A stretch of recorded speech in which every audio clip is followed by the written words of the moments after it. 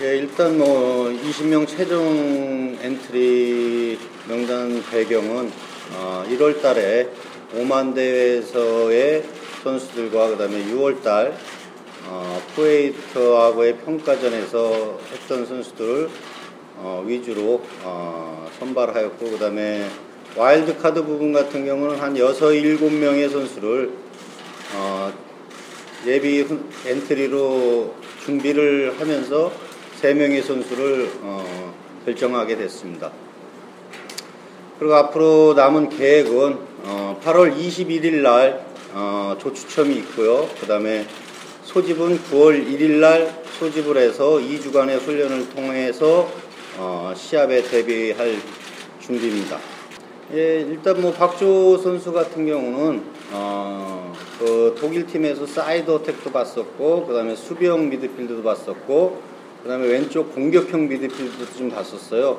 그래서 이 선수가 좀 전천후 선수로서 한 두세 자리 위치를 볼 수 있는 선수이기 때문에 아, 그거를 고려해서 선발하게 됐습니다.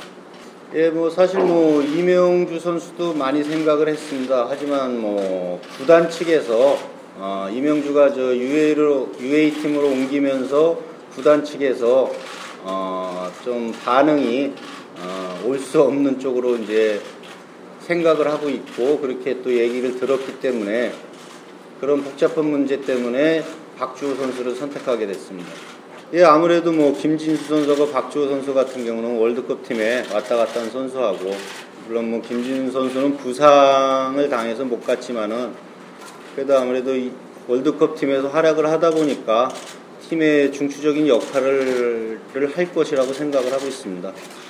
예, 아무래도 뭐 월드컵이 어, 안 좋은 결과로 끝났고 그다음에 아시안 게임에 기대 국민들의 기대가 크기 때문에 어쨌든 뭐 준비를 잘 할 것이고 아, 그다음에 뭐 그래 감독이라는 자르는 항상 성적을 내야 또 제자리에 있, 있는 부분이고 성적을 못 냈을 때는 또 떠나야 되는 자리이기 때문에 그런 거를 떠나서 일단 뭐 부담감을 많이 갖게 되면은 어, 지도자로서도 그 선수들도 그렇고 뭐 제대로 발휘할 수 있는 그런 부분에서 좀 하기 때문에 부담감을 떨치고 선수하고 같이 편하게 아시안 게임에 대비하려고 생각하고 있습니다. 예, 아무래도 뭐 23세 아시안 게임은 23세 선수들이 나갔는데 그 중에서 와일드 카드 부분은 이제 연령 제한이 없기 때문에 아무래도 그 선수들이 팀에 와서 또 큰 활약을 해야 되고 또 중추적인 역할을 하기 때문에 어, 그만한 또 능력을 갖춘 선수, 선수들이기 때문에 뽑았고요. 그다음에 박주호 선수 같은 경우는 뭐 지금 독일 마인츠에서 수병 미드필드로 활약을 하고 있습니다.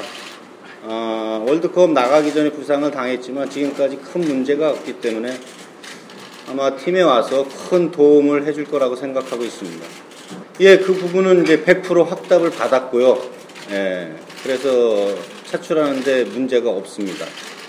예, 거기도 문제가 어제까지 올 수 있는 선수들을 다 상대로 해서 100% 확답을 받았기 때문에 예, 선수 선발을 하게 됐습니다. 20명 명단에 제출을 하게 되면은 15일 날 최종 명단이 들어가는데 들어간 이후에는 부상을 당해야만 바꿀 수 있고 그렇지 않으면 선수를 바꿀 수가 없습니다.